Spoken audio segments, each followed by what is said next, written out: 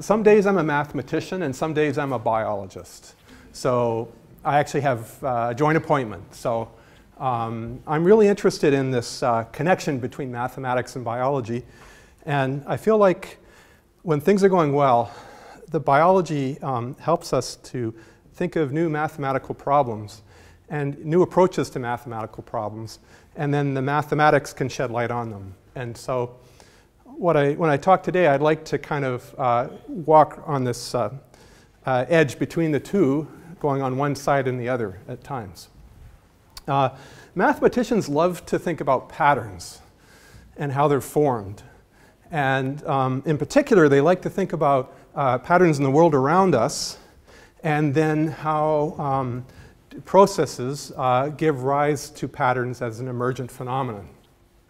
And much of the great early mathematical work in mathematical biology was looking at things like how tissues would form um, and uh, cells develop based on uh, interactions between different chemicals and stresses and strains. And here, the patterns were emergent properties based on the physical milieu. Um, I'm an ecologist, so uh, rather a long time ago, when I saw this data, I was really interested. So um, these are wolves in Minnesota, and uh, my country of Canada is right at the top of the picture. And uh, there's a little sliver of Minnesota between Canada and uh, one of the Great Lakes. And um, way back in the 70s, Victor Van Ballenberghe, who did his PhD winter tracking wolves, uh, caught one wolf from five adjacent packs, put a, a collar around the wolf's neck, and then flew in a fixed wing aircraft and located that wolf uh, at random times between May and October. And what you see is quite striking. Uh, each of the different symbols indicates um, one of the different wolves, and uh, the convex hull shows where they moved. And you can see there's very distinct patterns, and really there is very little overlap at all in their space use. And so you might think, uh, these territories are um, approximately um, 150 to 100 square miles. So how do they communicate? How do they know what's theirs and what's the others? And how do they signal and uh, have these territories emerge? Interestingly, they're very stable entities. So this work was done in the 70s, but some of these packed territories are virtually the same today. And so they're inherited and passed down. This is a little closer to where I live. I live in Alberta, okay, and Alberta's just on the east side of the Rocky Mountains. And uh, we have a very healthy wolf population in Alberta, um, around 5,000 wolves. And this is Banff National Park, uh, not too far from where I live. Um, I want to start off by showing you a little bit of data, and then we'll think about the mathematics. Uh, these are data from uh, coyotes, and this is in the Hanford Lands arid uh, uh, ecosystem. And this is actually where there's a nuclear uh, reservation, and, uh, but people are not allowed in except for scientists. Okay, so these are undisturbed coyote packs. And again, you see very distinct patterns, but now the different colors are showing the locations of a marked individual from a pack over a summer season and we have the red pack in the middle, and then blue, yellow, and so on around. And again, very distinct patterns, a little bit more overlap now between the colors, they're interleaved.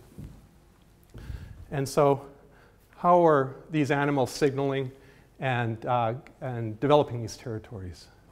This is a little more data. This is from the Lamar Valley of Yellowstone. And uh, the lines show contours, okay, so this is high, and it's a U-shaped valley. But again, we see these very distinct patterns of territories, but now on the valley bottom.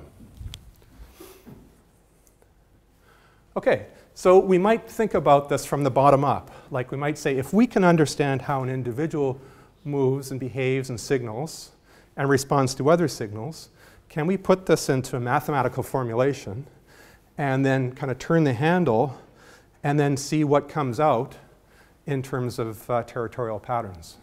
And so perhaps by analyzing the patterns, we can then look backwards and try to infer what kinds of behaviors are going on. And we know something about the biology, uh, mainly because uh, there have been a large number of PhD students who have actually tracked wolves uh, in the wintertime and uh, followed behind them and observed their behavior. So individuals forage by moving around their territory and searching for prey. And interestingly, scent marks, uh, maybe not surprisingly if you have a dog, uh, they're used to uh, transmit information. And if you were thinking about a wolf territory, um, around the edge of the territory, there'd be a kind of a bowl shape scent mark density, and the edge of the bowl is about twice as high as the middle. And this is where there's heightened marking. And existing scent marks, based on behavioral studies, elicit um, increased marking rates. And again, if you've walked your dog and seen it overmark another scent, you'll know what that means. Also, movement patterns change in response to scent marks, and so individual wolves that come up to a scent mark tend to, uh, on average, but there's a lot of variability, retreat back to their own um, uh, territory. And this is really a very interesting phenomenon. If you were to fly over northeastern Minnesota, where that original data was from, and you could see all the territories from an airplane, there'd be a patchwork of different territories. And between the territories, there'd be these buffer zones where wolves from neither pack go, and they comprise about 25% of the total area. So um, there are really these unused regions between the territories, and it turns out this is where most of the deer are found. Not surprisingly. and so somehow these territorial interactions are, are having an effect on the prey as well as the predator. Okay, so in case you don't have a dog, this is a wolf undertaking a, uh, a scent mark, and usually in the winter time, most of the data is from the winter because uh, white snow is very easy to find scent marks on. And typically, um, uh, uh animals will scent mark on raised um, areas, uh, such as these logs or a, a, bank or something like that. And there's a whole uh, description of different kinds of scent marks, and I could spend a whole lecture on those. This is called a raised leg urination. I won't, I'll just call the variable P, okay? so I won't go into all the different kinds. Uh, this is a picture from uh, Isle Royale in one, in one, of the Great Lakes. And this is one pack where um, the, uh, the uh, alpha wolf up in the top corner is inspecting a, a, scent mark post, after which the pack retreats into its territory on the side of the slide. This is some data closer to home. This is very close to Banff National Park. And um, we've done quite a lot of radio tracking of wolves in uh, Alberta. And these are radio lo locations taken every 15 minutes. So every dot is the location of the animal every 15 minutes. And it's got a collar around its neck, and the collar communicates with a satellite. And then it's recorded on the collar uh, where the animal is. And eventually the collar is removed, and then we download the data, and then we can see exactly where it's been, uh, basically using GPS. And so you see there's some very interesting looking uh, movement patterns here, kind of an arc shape, and then a very strong localization here. Um, and this was sort of taken over about three months. Now the interesting thing is if you overlay the same pattern with the geography, you can see there's a, the dark areas here are the valleys, and the white areas are the mountains. And the green area is a very high elk density region uh, which is right in the center of the Ya Ha Tinda Ranch. And you can see there's a real focus on where the prey are and the valley bottoms. And so we need to think about things like prey and topography if we're going to understand what's going on. This is a uh, picture taken from uh, the PhD thesis of um, Peters, who uh, in the late 70s spent a lot of time tracking wolves in northeastern Minnesota. And this is uh, not exactly data, it's like a composite of different data sets. And the little lines show trails, and then the different um, uh, colored scent marks indicate how each of the wolves is sort of marking their area, but where there's that overlap, the marking levels are higher. So there's sort of like this information network that comes from scent marks, and then animals are somehow responding to the information that they get. Okay, so as a modeler, you might say, can we come up with rules that describe scent marking and movement that are sufficient to explain the complex kinds of patterns that we observe, uh, both qualitatively and quantitatively? The qualitative question is uh, maybe what the mathematician might start with, but the quantitative question is the thing that the biologist would be interested in. And we might say, if we can come up with these rules and connect them to the data, do they do a better job of explaining what's going on than a simple statistical model? And so to do this, uh, we need to have some kind of mathematical formulation of the equations that describe the rules that would go into what's going on. And then some kind of analysis of the equations, and then comparison to data. Okay, so a very simple model that goes back to the 1970s says basically animals that have home ranges or areas that they use, um, they, they sort of move randomly as they walk around or move around and uh, look for resources. And then they have some kind of attraction towards a den site or an organizing center.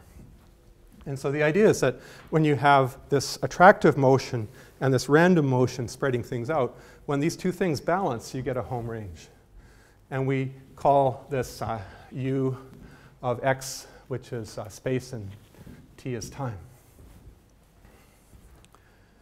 And so if we think of a, a little thought experiment, and we have, say, two packs that are interacting, we'll kind of start small and then we'll build up to uh, looking at the data. Uh, say pack U is over here and pack V is over here. And then um, the first um, pack uh, produces scent marks uh, P, okay, which are the promised variable there. And uh, the second one produces scent marks Q. Then the idea is that when individuals from the first pack run into the foreign scent marks, they may retreat a little bit back towards their den site. And similarly, when the pack, second pack meets these ones, they'd move back towards their den site, which would be in a different direction. So this would naturally cause the population to, to segregate. So we can put this on the computer if we want, and I'm, this isn't what I'm going to do today, but the immediate thing would be to think, okay, I can create little wolves on the computer and I can have them going around be, uh, uh, using these behavioral rules. And here's a random walk with a den site, which is shown in green, and one in blue. And then these are the scent marks, and then this is the heightened scent mark region. And so we ran a lot of these simulations. And um, and we saw the kinds of patterns we were looking for. So that was a little bit encouraging. But then the question is, is there some other way we can think about things uh, mathematically that may be a little simpler, give a little bit more insight, and be more useful ultimately? And uh, this is what we did. So there are these equations called advection diffusion equations uh, that track the space use of animals. Or they can also be used to track the uh, um, density of chemicals as they um, are moved and diffused. Or they can actually be used to track the uh, temperature in a rod. Okay, so the, the mathematical theory can be used in all these different ways, but the equations look very similar. And the idea is we have the rate of change of local space use has some kind of bias term plus some kind of random term. And if I were a biologist, I'd be showing you lots of pictures of the animal that I, um, uh, I uh, study, right? In its natural habitat. So this is the animal that I study, okay? and, um, and so it doesn't, the details don't matter too much, right? Except this is the idea. We have this sort of uh, rate of change of space use, a random um, uh, directed component, and a random component. And these different components can depend on scent marks and spatial um, variables. And so we just do a little bit more, a couple of slides of math, okay, uh, to try to get a sense of how a mathematician would actually look at this. And so remember we had these uh, four variables, u, v, p, and q. u was the first pack, P was the density for the, of scent marks for the first pack. Then we have the second pack, V, and the density of scent marks for pack V. And so these are where we really put our ideas in. And so the first term on the right-hand side in the top two equations is this random motion. This really actually comes from the idea of Brownian motion, which is kind of a random walk.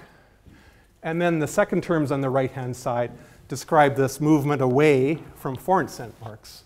And so on the top right, that C depends on Q. Q is the pack V scent marks.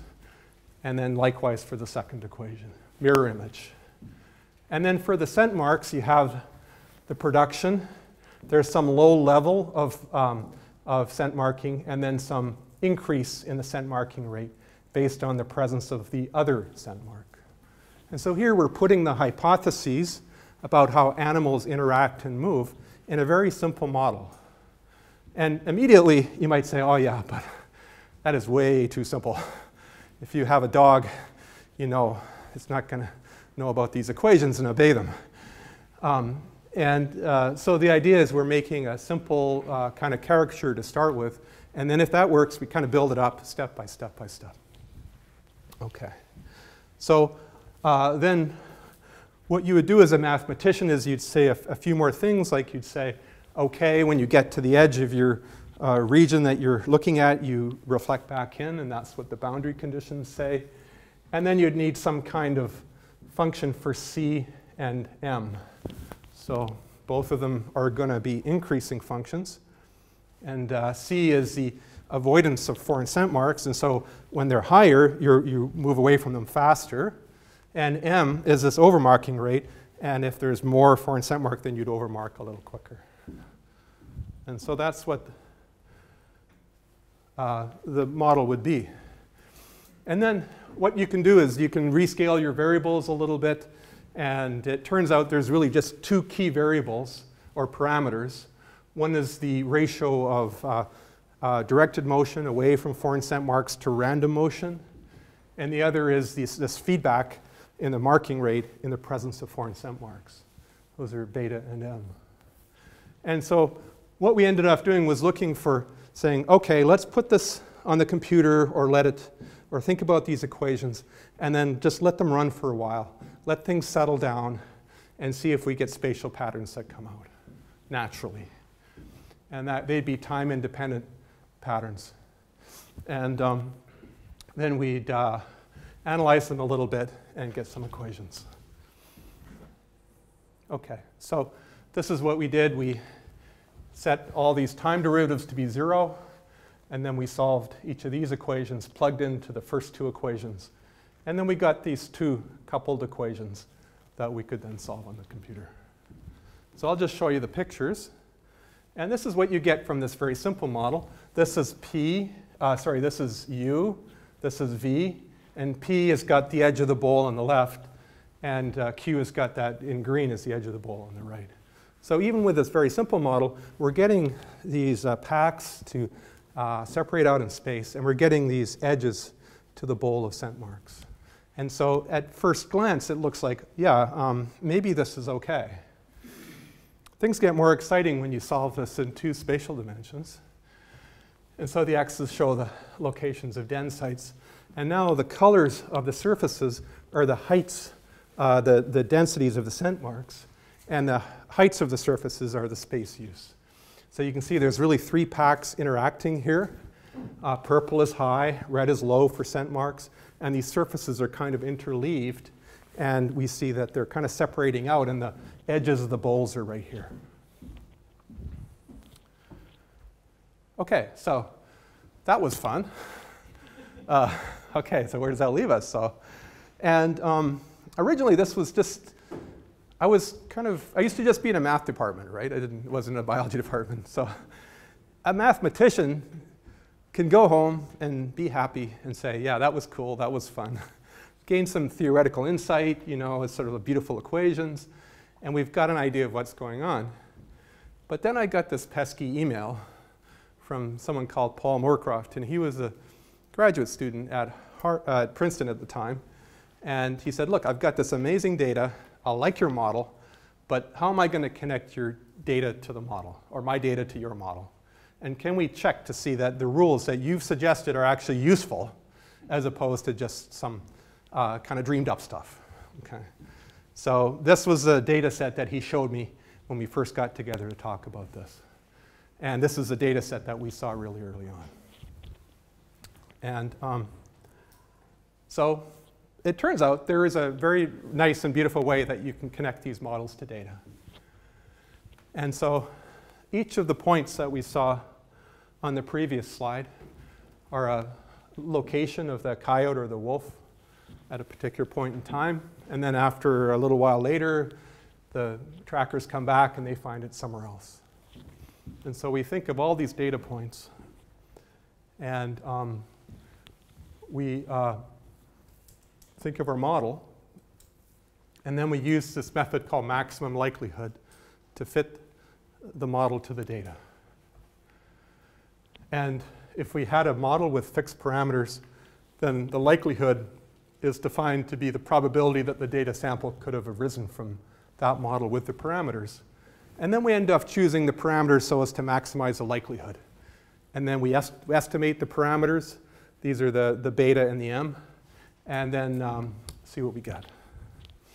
So when we do that, um, uh, we think of our locations as uh, x1, y1 in the x coordinate and the y coordinate.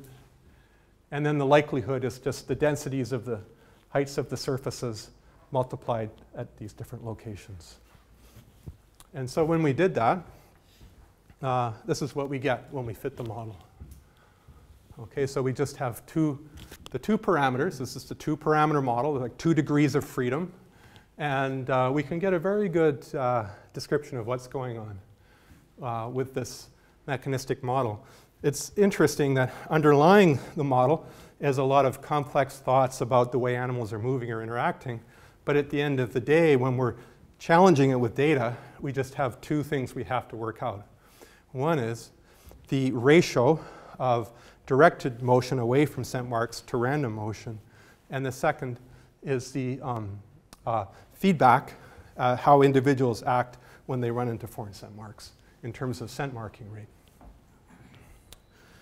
So um, that was exciting, and uh, uh, we can um, we can kind of look at that corner where the blue and the red and the purple come together there. That's really kind of where a lot of action is happening. And then we can think about the total foreign scent mark density that that metal pack sees, and it turns out to look like this here. So that peak uh, right at the top there is right where that interaction is. And so these are the edges of all the adjacent bowls that that center pack is seeing that modulates their movement patterns. Okay, so this is the surface, and its height is uh, the foreign scent mark density. Okay, so we can make a prediction, like we can say, okay, what would happen if we remove that middle pack? And then all the other packs would kind of move in and use up space. So this is a little bit different than a statistical model because we can then say what would happen in the future if things change. And so here, this is a prediction we made. But of course, we couldn't test it because no one wanted to go and remove that coyote pack in the middle. But it turns out when we reapplied these methods to Lamar Valley in the Yellowstone, we had a, a kind of a accidental experiment that went on due to nature that allowed us to test the predictions. And I'll tell you about that soon. Okay. Um, so we might say, um, it, was all this worth it somehow? Uh, you know, couldn't we have just used that Holgate model that said there was just bias towards a, a den site and random motion? Wouldn't that be almost as good? And the answer is actually no. Uh, that's what you see on the left, the fit to that Holgate model, and it's really just like concentric rings, like target patterns for density. Whereas the uh, isoclines for density here, the red contours and so forth, fit the data a lot better. Okay, so we were excited. We said, oh, wonderful. Got this new data from um, Lamar Valley and Yellowstone. We fit our model, and it just did an awful job. Here it is, right? So um, here, here are the, here are the, uh, the dots showing individuals, but here are the isoclines showing the height of the space use density. And we've got wolves right up on top of the mountain and uh, all over the place. And so, yeah, it didn't work. So we were wondering what to do. And, well, remember we were talking earlier, right? And, and, and they, they seem to like the valley bottoms, and they seem to like to be close to their supper. So maybe, maybe there's something going on there. Maybe they don't like the steep edges, or maybe they want to be around where the prey is higher. So we put those things in the models. This is just for example, this is Hanford, where we saw the first data, and this is this beautiful valley in Yellowstone, the Lamar Valley, that has that U-shaped bottom, right? And they're just kind of hanging around in the bottom of the valley. So we can, you know, we can have fun, right? So we added terrain taxes to our models, saying that wolves would try to choose a path that didn't go uphill too much and try to conserve energy. And then when we fit the model, this is what we got here. Um, and again, those contour lines show the expected uh, space use density. So we said, okay, well, we can also work out the density of the prey. Maybe they're just honing in on regions where the prey is good and there's not much food on top of the mountains. And so we tried that too, and then this is what we got. And it turned out this was actually the best model. So it would seem from what we were doing that they were, you know, they were acting in a territorial manner, but they were trying to hone in on areas where their, their um, food was highest. Okay, and here, this is um, a little experiment we did, well, we didn't do, that happened in nature, where this uh, one pack uh, actually uh, was uh, removed because um, the alpha pair died and the other coyotes um, dispersed. And uh, then we predicted how these uh, two packs should kind of move in and share the, uh, the very good region of um, food that's in this uh, area here. And then we could uh, compare that to data and show that it actually, um, the predictions were held up okay. And so just to look at this region here, where you see this overlap, that's, um, that's this uh, kind of nice area right here, where it's a little bit darker, so there's more prey. Okay, so it turns out these um, kinds of models, this model in fact, has been applied to a lot of different animals now. This, we're kind of looking a little closer to home, I guess. This is in South Africa, in the Kalahari, in just the north part of South Africa. And there's uh, uh, these beautiful, well, interesting, I guess, uh, meerkat uh, colonies in um, uh, Rift Valleys. And there's a very long-term site um, in the Kalahari. And uh, Andrew Bateman was a postdoc with me, and he'd spent time there um, collecting data on meerkats. And, um, and they're highly territorial. There's lots of social interactions. There's fighting. There's latrine posts. There's, um, um, there's apparently some kind of memory maybe of where altercations have happened earlier. And uh, the territories were much more complicated. So they were, they would, uh, uh, groups of meerkats would split, and then there would be two new groups, and then they'd be competitive. And then the, the territories would like jostle around and then shift and drift a little bit. Okay, so they weren't like anchored by a den site they really seem to have this dynamic feature of uh, fusion and fission and splitting and moving around. So uh, it turns out we can sort of take this whole modeling structure and apply it to animals like meerkats. And um, yeah, this is just a, little bit hard to see with a light on, but uh, just to give you an idea, uh, there's this Y pack with a circle around it. And then um, uh, the data show that it actually broke into two packs, the uh, groups, the Y and the CD group. The CD is a red one. And then they basically spread out and they displaced other territories. And so we could fit our model to different hypotheses and to these data, and then we could show how these, uh, we could model the way that these territories would move around and grow. And uh, yeah, we've uh, used this for things like Amazonian birds uh, and uh, uh, caribou and other animals. Um, and uh, um, I'll maybe say a few more words about that later. Um, there was this thing that I mentioned earlier, though, just to shift gears, um, about these buffer zones. In, so we're going back to where we started, which is northeast Minnesota. And um, at, between the uh, territories uh, are buffer zones, and this is where the deer are more commonly found. And the, the green dots here are the locations of radio-collared deer. And uh, that was, they were collected by Hoskinson. And then David Mech was collecting data on the wolves. And they were actually acting independently at that time. So they weren't uh, apparently um, working in collaboration on this. And they kind of compared their data sets. And it's sort of interesting where you look at the green dots, they're right on the edge of the, or between the territories. Um, and then these red areas, it snows there. And um, the red areas are these yards where the deer trample down the snow under the trees and gather together. And again, see the yards are just right. You can see one up in the top right there. Okay, these guys are probably in a little bit of trouble. uh, not right in the edge of the territory. So you see there is a very strong negative correlation between these deer locations and, and the, where the wolves are found. And you can see where it is in Minnesota on the bottom right there. So, um, well, we have buffer zones. this is, uh, that's North Korea, this is South Korea, okay? This beautiful green area here is a demilitarized zone. Um, and that's been very stable, created in 1953 during an armistice negotiations. And it excluded people and their activities for 50 years. And it turns out it's a thriving hotspot for biodiversity and houses endangered species. Uh, but they're hard to study.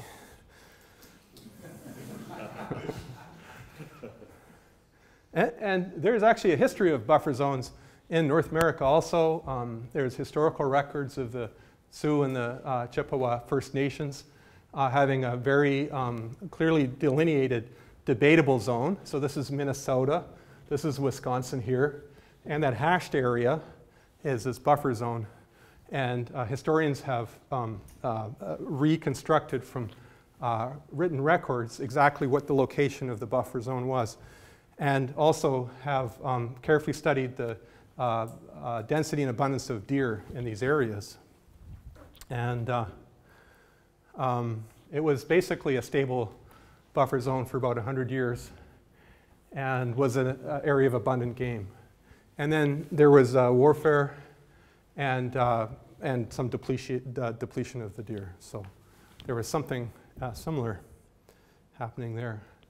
And after, it turns out after a boundary treaty was negotiated, it was hunted out and there was famine. Okay, so how do we understand this? I want to go back to the biology because I, I don't quite know enough about the people to put them in my equations yet. but how do, what do we know about, uh, about wolves and deer? Because we know we've got lots of data and this pattern is very well established. So the, there's a very strong predator-prey interaction. So if you're a deer and you're not killed by a human, you're most likely to be killed by a wolf. And if you're a wolf uh, in northeastern Minnesota, most of your food comes from deer, something like 70 or 80 percent. And perhaps not surprisingly, then the deer are found outside of uh, the major wolf territories. But then you might think, okay, that's interesting. But why don't adjacent packs enter the buffer zones and use the deer? Why would they leave them there? Um, uh, because it turns out that the wolves in northeastern Minnesota are often on the verge of starvation. And so if you were starving and you saw your lunch there, wouldn't you just kind of step over and grab it and come back? What would prevent you from doing that? Um, and this turned out to be a real puzzle for biologists for many years. And so the idea is that, well, some people originally had some ideas like, well, uh, there's this thing called the prudent predator hypothesis. So maybe maybe you'd save your food until things got even worse and then go get it. Well, people don't really believe that works. And, and the other thing is, if you don't get it, your neighbor might get it. So there's another reason not to do that. So it's probably not, you're probably not doing that. So you might just say how do buffer zones, and hence these prey reservoirs that turn out to be really important for stabilizing the food for the wolves, how do they persist as um, ecological entities? And so really we have to think about a game in some sense. So um, the theory of games came from economics, uh, where you'd have different players that are trying to maximize their fitness or their outcomes, and uh, they might play against each other and try to choose um, behaviors that are going to maximize the probability of something good happening for them, or maybe something really bad not happening for them. And so, if we were going to think about this as a game, uh, we uh, could think about the two packs as two players, right? And they're, they're somehow trying to choose rules so as to um, maximize their fitness. Really, there's a third player, which would be the deer. okay, they're probably going to want to do their thing so as to not get eaten. I won't include them, though. We'll just think about the two packs. And it turns out there's a lot of social control over pack movement and hunting behavior. And so you can think about the pack more or less as a single hunting unit because there's um, uh, the alpha pair often um, uh, control, they control reproduction, they control hunting, and a lot of other things in the pack. Okay, so, um, so what we really have here is something kind of interesting. It's, it's a spatial game okay? Because these, these buffer zones are spatial. And this just gives a little bit of a flavor of how we might think about this. And uh, here's another uh, one of those equations. But um, we might just think about what would go in there. The density for the first pack and the second pack. Maybe the density of the deer as a function of the density of the wolves, okay? And then there'd be some mortality of the wolves. And then there's some interaction dependent mortality. This is what alpha is. And that term, that second term in the first brackets, that's describing mortality. And we can actually measure the probability of a mortality event or a serious maiming based on data uh, when wolves interact. And then the final term there is some measure of the offspring produced. Okay, so if you're if you're uh, if you have a strategy that allows you to produce more offspring, then you're going to be more successful. And then uh, that um, trait may be uh, continued to future generations. Okay, so this is the kind of thing we might set up here. And this is just a sample of the formula. And then what a game theory person in ecology would do is look for rules for movement behavior um, in terms of the bias, okay, moving away from uh, foreign, foreign scent marks or the other pack, and the diffusion, which is a random component of motion that um, is in some sense good. Okay, and the people in game theory have a, um, they have a very, they're very careful with their words. Okay, so they say it's uninvadable in the sense that a pack digressing from these rules will do worse. Okay, so basically, if both packs are doing this uh, ESS, e evolutionarily stable strategy, and one pack does something different, it's going to do worse. So it's going to want to go back to what it did. Okay, so we can analyze this as a game. And I was tempted to give you slides and slides of mathematics, but you all might walk out on me. So I'm just going to put it in words. Okay, and this is a, um, I think it's easy to describe in words. One thing about mathematics is if you, um, when you analyze something originally, it can look very technical and difficult. And then um, if, you, if you really understand what's going on, then you should be able to tell a story about the mathematics, uh, about what it means in terms of the biology. And that's partly what I love doing, okay, is doing the mathematics, doing the analysis, and then saying, okay, so what does that mean biologically? And so we have these two packs that play a game where each, each pack is asked to choose its space so as to maximize its fitness. And the simplest game has no constraints on movement at all. And when you put this into the machinery of game theory, what it says is that uh, each pack should divide up space And so it's basically uh, even space use to the middle, and then there's uh, just a, a, a, wall, okay? So there's a division of space into two halves. So there's no buffer zone. And this is what we see for most countries, right? The, the demilitarized zone is something that is a little bit unusual. Um, and uh, a more complex game involves constraints on the movement parameters. And so the rules are really about the random component of motion and then the directed component of motion. In particular, if you assume that there's always some random or unpredictable component in the movement behavior, this is crucial. And so what it would mean is if a wolf came to the edge of its territory, it wouldn't actually know if it was going to go in the buffer zone or not, and neither would its neighbor, okay? So um, this is reasonable for some animals, uh, like if you're chasing a deer, maybe you'd make an incursion into the buffer zone or something like that, and you wouldn't always act predictably. Um, and so if you assume that behavior is in some sense unpredictable, then this game theory gives rise to buffer zones, providing there is a sufficiently large penalty for antagonistic interactions with other packs. And then this is how the refuge comes up. Okay, if, if everything were predictable, you wouldn't have a buffer zone in some sense. Or we wouldn't know how to, how to understand it, I should say that. Okay, so if we think about this, uh, we can think about the unpredictability of the movement here, and then the penalty for overlap here. And so at the top, we have more aggressive interactions, and at the bottom, we have less aggressive interactions. And so mathematically, when we solve this problem, we have uh, basically if, if it's uh, highly predictable, okay, and highly uh, uh, aggressive interactions, then we get a partitioning of space.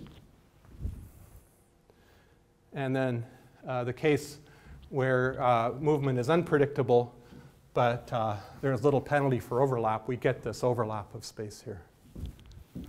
And then the last case, which is applicable to the wolves, is where we have um, aggressive interactions with neighbors, and highly unpredictable uh, movement behavior.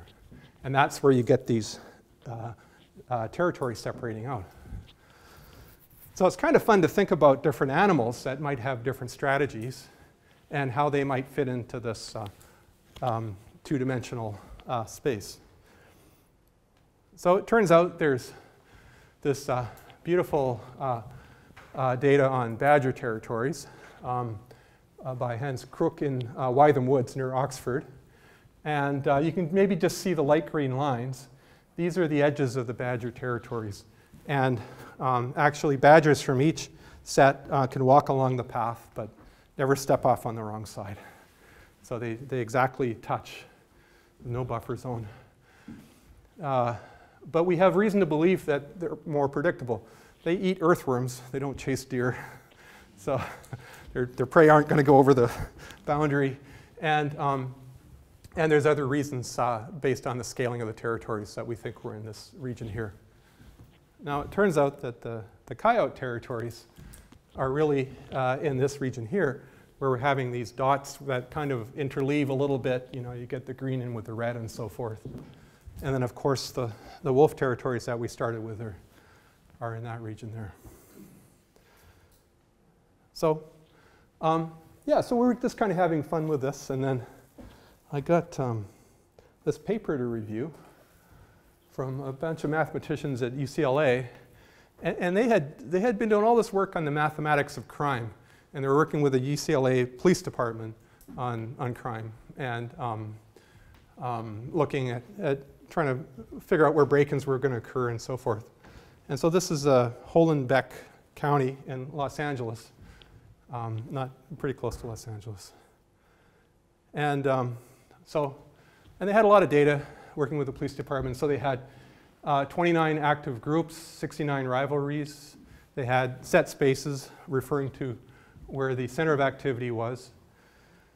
And uh, they had uh, a lot of data on um, altercations and um, between different groups uh, that they used to fit the model. And they really just used this uh, terrain taxis coyote territory model, uh, but in a different way. So um, I don't know a lot about it. So I'm not going to say it, it's great. but, um, but it, it, seemed to do a very good job of predicting space use.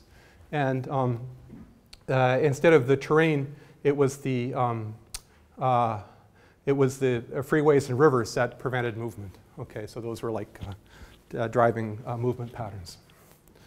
And so you might, you might ask yourself, why would such simple models work for complex animals such as wolves or even perhaps people?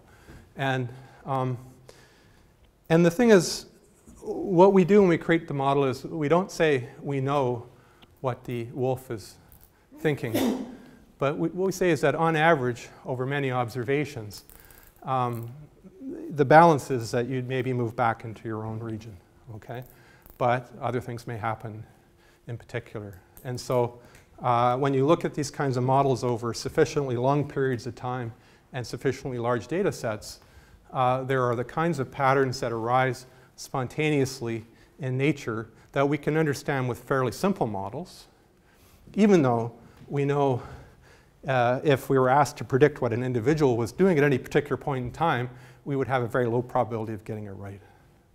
And so this is part of the beauty of the mathematics. Uh, it allows you to simplify and see things through a slightly different lens than you'd normally see things through. Okay, so simple models can sometimes predict what happens for quite complex uh, data. And uh, we've applied similar approaches to Amazonian bird territories and uh, caribou uh, calving space use. Um, and uh, they're based on these advection diffusion equations. And they really came out of physics, okay? And it was somehow uh, transferring all this technology from physics to biology that then opened up this area a little bit.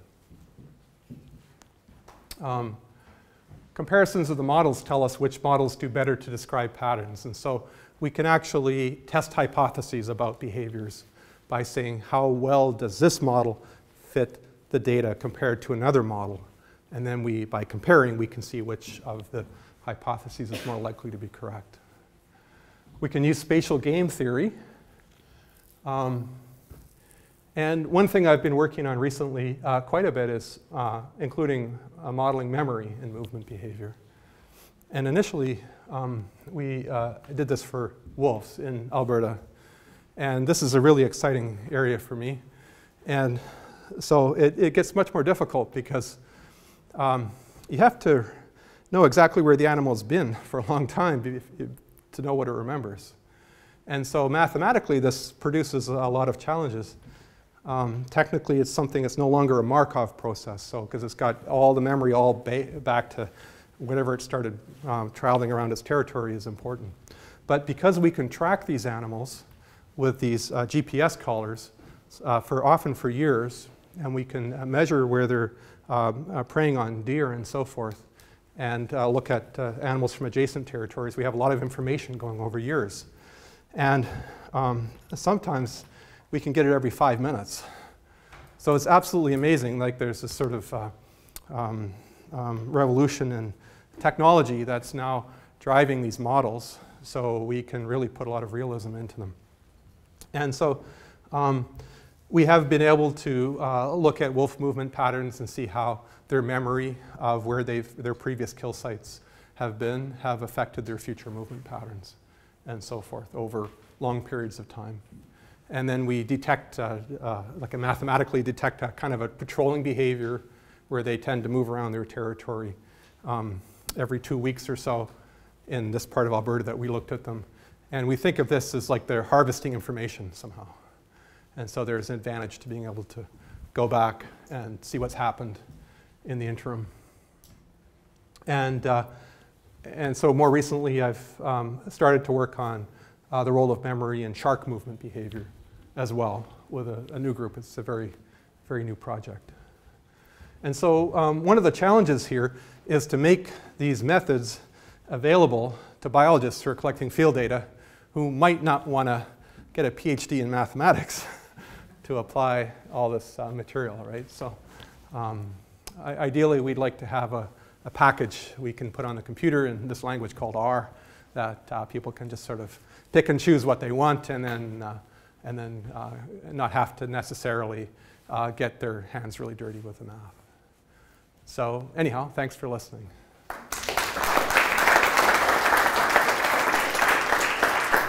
Thank you very much. Will you answer questions? Of course, yes. Yes. I- Uh, I'd like to know if any research has been done on baboons using this. Um, yeah, so there have been uh, there has been work on primates uh, with uh, I don't know if it's baboons though, on um, fruit. Par- Pardon me? In the Cape? Uh, no, I no, I, I think uh, it was not in the Cape. Yeah, um, and uh, their movement relative to fruit trees. But uh, these kinds of models haven't been applied. They've been other uh, kinds of um, more individual-based models.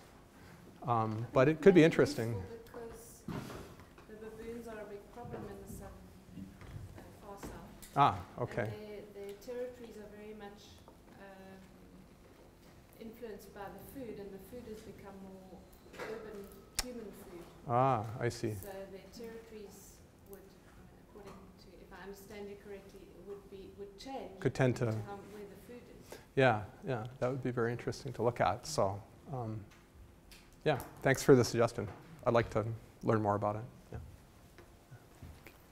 How Yeah, the biologist would use it? Is it that they might point out areas where they ought to make more observations because they're areas of interest, and that sort of, that sort Yeah, that would be uh, so. They could use it. They could use the models at different levels. One is, um, say, for example, a, a new species, maybe not the wolves, but uh, for example, when we looked at uh, Amazonian birds using the same kinds of um, models, we, we didn't know what governed their movement behavior.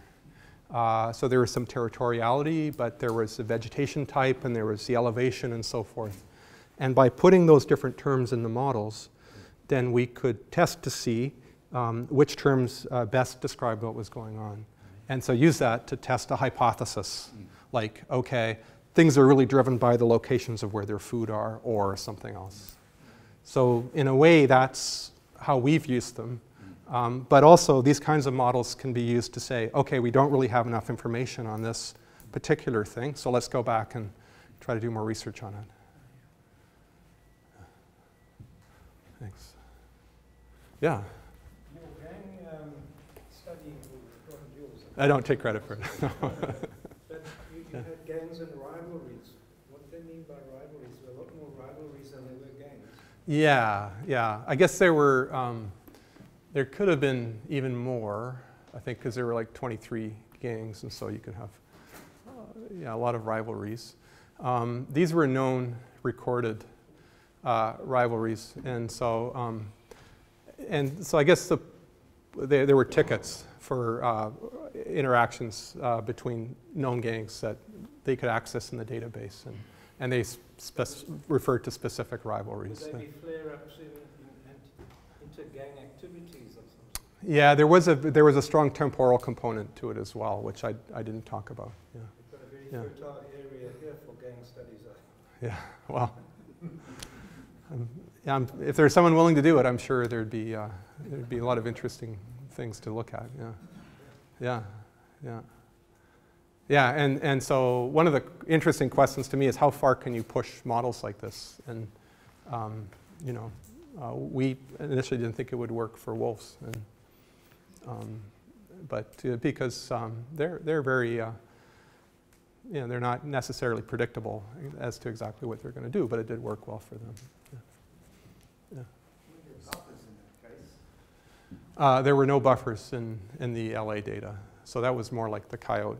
There was overlap, but uh, yeah, yeah, maybe more a little more predictability. Yeah, yeah, yeah, yeah, So uh, which means there is no element of time where yeah. you know where this one is in relation to.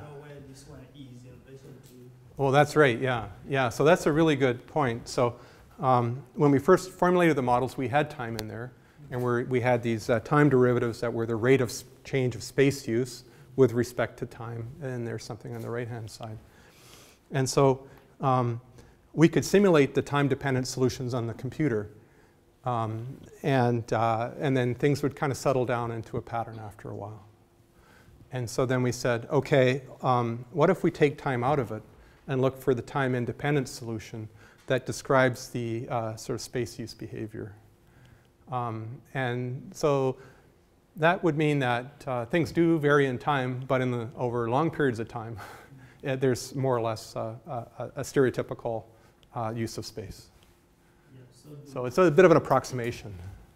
So yeah. which means they don't have any time they will be like close to each other where you find that they have more like common, common area. Are they there at the same time or the other one will be? Yeah, yeah. So um, the, the like the variables like say u, which be the space use for one pack, it would be the um, the density function for space use or the probability density function. So it describes the probability of an individual being there, um, and uh, and so over uh, and we assume that over time these probabilities kind of settle down. Yeah, yeah. Very good point. Yeah, and that was sort of the only way we could analyze them originally because if we keep time in there, it gets very complicated. And we did that for a while, and we realized we could, didn't have to. Yeah, Any? Yeah. Yeah. how yeah. How this really relates to like chemotaxis? Because uh, here you have essentially like, like this uh, motion is Yeah. deterministic in, in the direction. Yeah, yeah, very good. Similar to chemotaxis because essentially chemotaxis you have a like trace of. of- Yeah, yeah, that's a, that's a great question, yeah. So um, chemotaxis, um, I'll just give a little bit of background on it for everyone, but um, uh, has been used to uh, look at the uh, movement of things like uh, bacteria. And they actually produce their own chemicals, and then they're attracted uh, typically towards them. And so there's some similarities there. Uh, but there's some differences as well. And so in, in, the, um, in, the, in the wolf model, we assume the existence of these den sites, which are real, which are organizing centers for movement. And you don't have these in the chemotaxis. So you just tend to move uh, typically up gradients of, of chemical. Movement in a fixed environment in some sense from the point of view of chemical. Yeah, yeah, so in a sense it's fixed, yeah. Um, but um, but we, we, did, we have sort of modeled uh, another, another system, which I didn't talk about, which is um, a memory-based model. So, um, and we actually use that for the meerkats.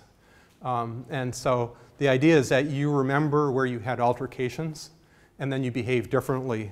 Uh, you move differently. You kind of avoid those areas that you've had altercations in before. And so it's like a reverse chemotaxis to the, the memory of where, so you would have sort of not, not go in that area for a while. And then that memory would dissipate. And when we have a model like that, we do also get these kinds of territories that form. So there are, yeah, close analogies. Yeah.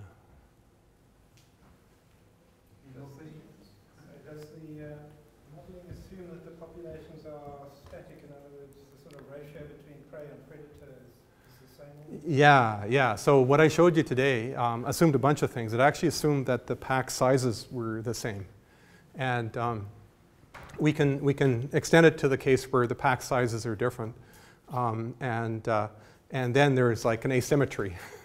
so the larger pack uh, actually occupies a larger area, and the smaller pack kind of gets squished out a little bit.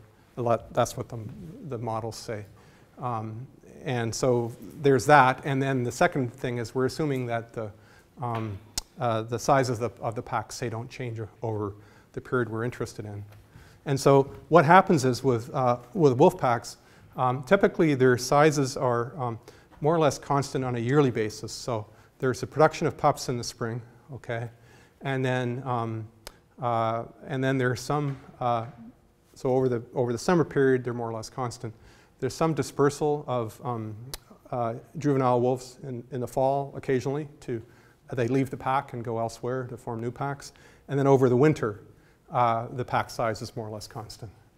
And so um, we were thinking about our model as applying over uh, sort of like a three or four month period where the pack size was uh, constant.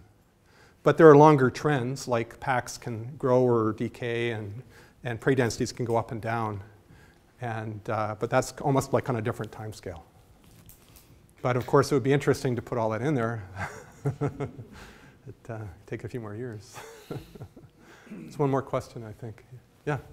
Um, what strikes me as quite interesting is that you, you obviously started um, studying animals, essentially, and what I find quite interesting is that obviously a lot of corporations would want to know how to study humans, like